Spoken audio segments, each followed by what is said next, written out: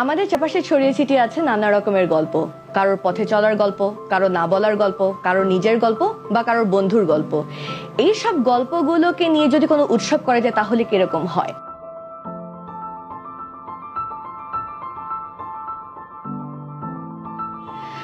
Hello, আমার নাম রুম্পা সৈয়দা ফারজানা জামান এবং আমার পরিচয় হচ্ছে আমি একজন গল্পকার এবং সাংবাদিক।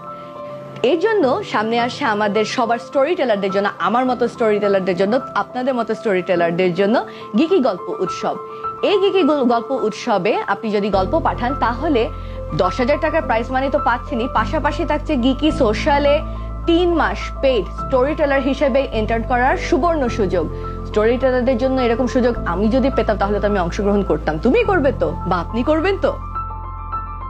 এবং গিকি গল্প উৎসবে কিন্তু অংশগ্রহণ করা খুবই সহজ। নিচে যে লিঙ্কটি দেখা যাচ্ছে, সেখানে ক্লিক করে জেনে নেওয়া যাবে সকল নিয়ম এবং স্টোরি টেলার হওয়ার সুবর্ণ সুযোগ।